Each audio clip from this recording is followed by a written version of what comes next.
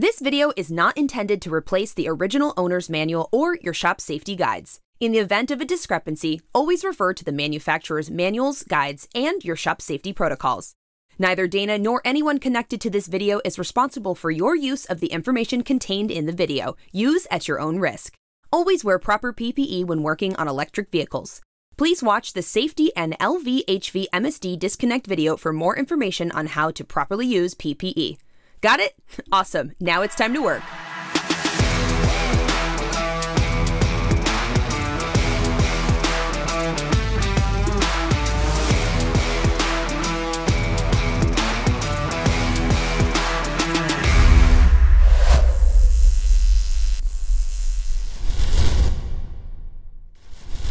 Hey guys, it's me, Cristy Lee, here to talk to you today about how to handle an electric vehicle that comes into your shop with a damaged battery. Before you do anything, watch the Driveline Forensics Best Electric Vehicle Safety and Low and High Voltage MSD Disconnect video.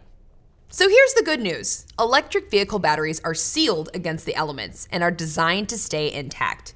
But if an electric vehicle is in an accident or is submerged in water, there are some special safety measures you'll need to take. Because if a battery does get damaged, you gotta know what to look for and what to do.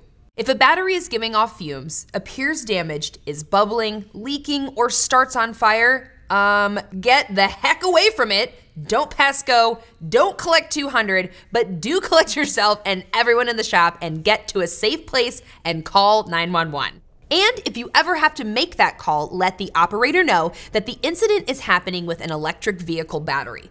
And then when help arrives, tell them again and let them know exactly where the battery is.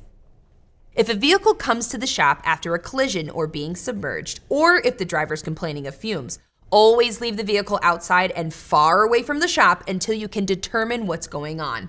If the vehicle's already inside, ventilate the shop as best you can and keep the doors and windows of the vehicle open too so the fumes don't build up.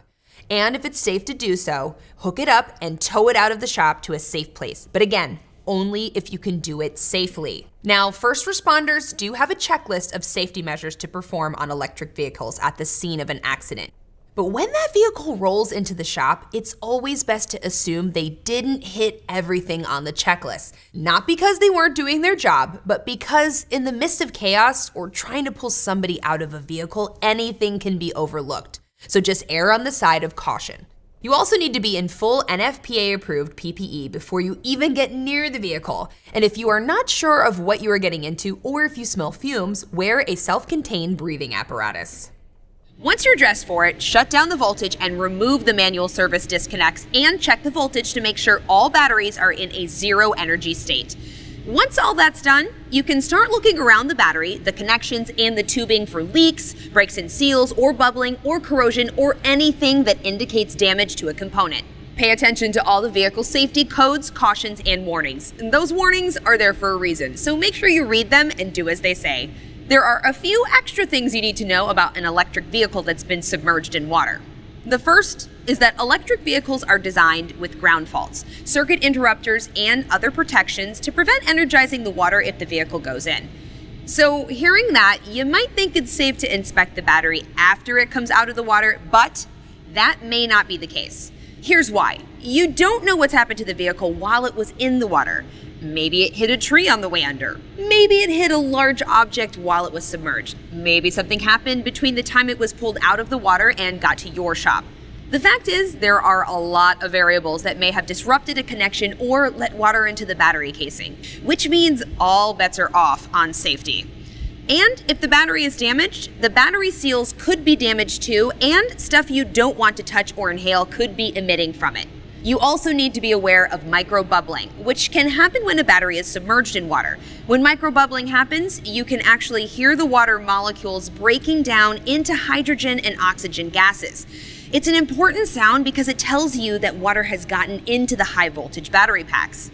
And yes, this is a major safety concern. If you hear microbubbling, steer clear of the vehicle and call 911. It means those molecules are active and you can be burned. Obviously, if a battery is microbubbling, you can consider it a wash, no pun intended.